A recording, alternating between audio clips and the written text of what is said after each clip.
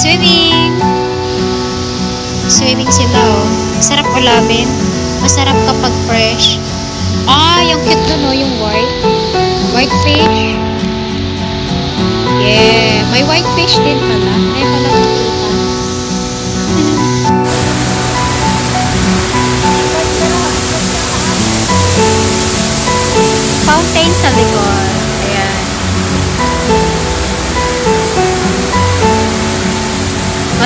tourist ngayon ah.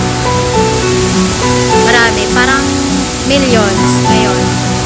Kaka-open kasi eh. Hindi na mahigpit kaya dumadami. Karamihan mga western nagpupunta. Marami rin Pilipino. Makikita ko sila sa central.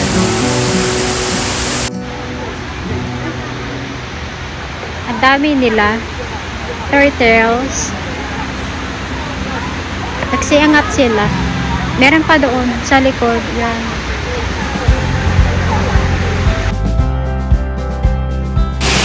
Ayan, video natin yung rock.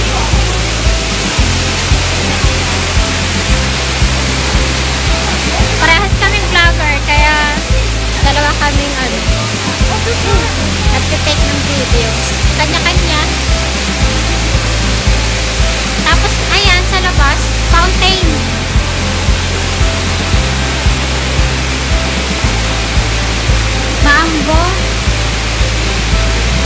Cute niya, guys. Ayan o, sa likod. Tara, tingnan natin.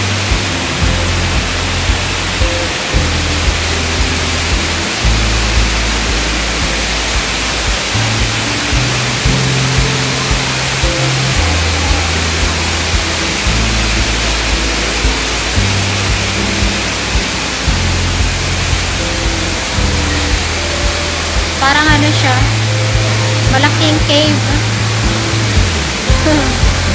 oh, shortcut, paakyat sa taas. Tapos sa baba, fountain. Ay nga pala, Hong Kong Park ito. Tapos meron pa sa taas. Akyat kami sa taas.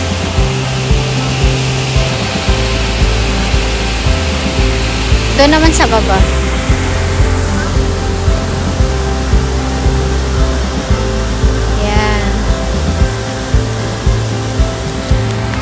Muna ako guys.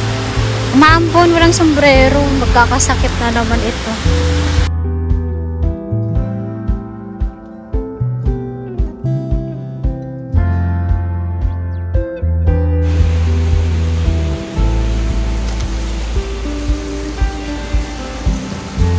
Kaganda ng mga flowers dito.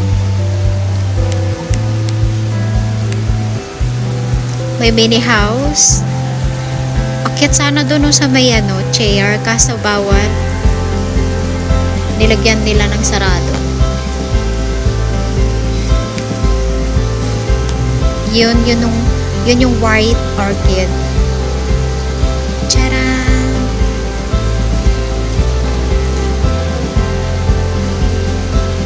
Cute nito, oh.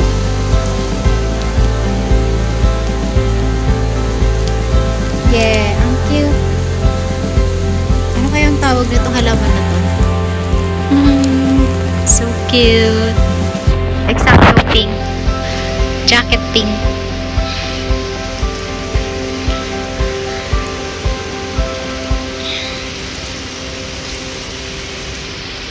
Ayan. Ang daming flowers. Same din pala sa Korea, no? Ganon din sa Korea. Mahilig din sila sa flowers. Pero parang mas okay sa Korea kaysa Hong Kong. May cherry blossom kasi doon eh, madami. Dito, sa Hong Kong, konti lang. So, lemon. Nabuhay pala yung lemon dito. Ah, ganun nga rin gawin ko sa bahay sa Pilipinas pag uwi ko.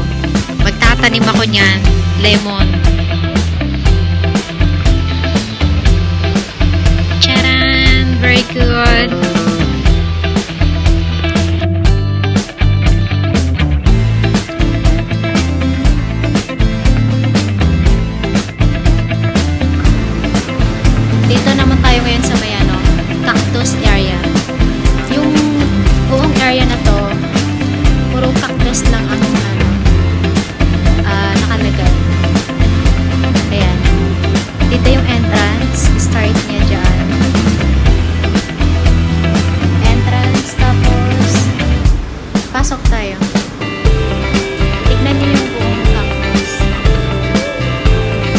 yung pinaka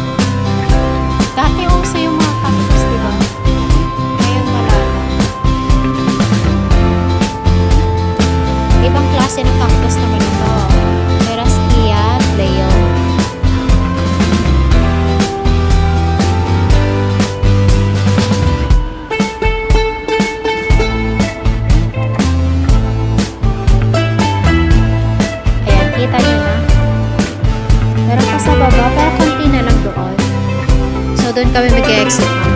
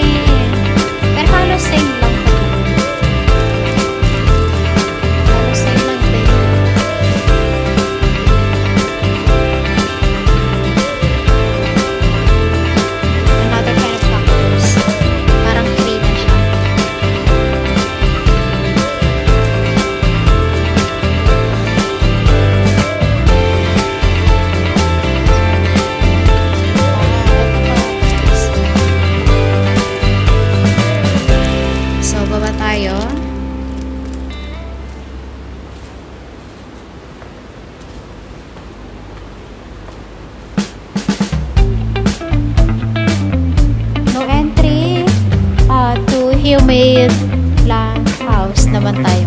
Doon tayo sa humid plant house. Dito sa may cactus area. Or cactus house. So, entrance na tayo to humid plant house. Glass door, sliding window. Yung sa entrance. Ang cute niya guys. First time ko makapunta rito. Dito naman yung ano, humid plant house. Kaya pala siya humid kasi parang wet ba? Wet yung ano niya. Yung feel mo dito. So, dito tayo sa start.